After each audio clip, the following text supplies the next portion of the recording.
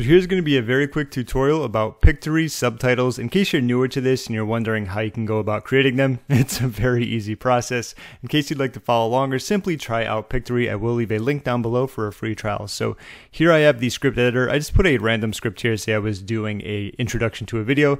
Let's click on the proceed button. Obviously, you know, you can put a much longer script there. Uh, Pick anyone you like. I just happen to like corporate. We're going to go with 16 and 9. And of course, once this is done loading, I will get back to you and I will pretty much show you. And just like that, here I am. And you might notice I didn't do anything. That's because Pictory automatically can create these subtitles and captions for you.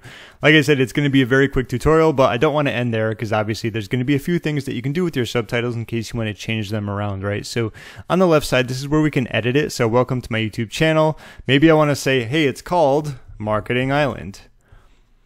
And upon doing so, let's give it a second to load, you're going to notice it just added it in there. So that's going to be how we can edit our captions and subtitles, whatever you want to call them, of course. And upon doing so, if we ever want to like change how it zooms in or zooms out, we can click on it once.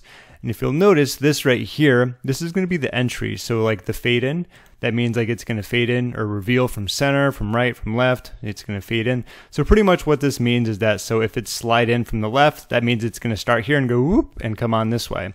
So you can also change around the speed as well. And of course, it's going to be the exit where it can be a fade out. Me personally, you can really, you know, be meticulous about this. I think fade in and fade out looks great. I'm not sure if it's going to show in the preview. Let me just try it one sec. Yeah, that was a very quick fade in, and uh, there you go. You can see it fade out. So those are going to be like the different settings in terms of like what it looks like. Let's say we want just to do one like slide in from the left. There you go. You can actually see it right there. And then of course, when we have our exit, oops, this mouse, and we just have a, there's not as many. Let's do like from the right.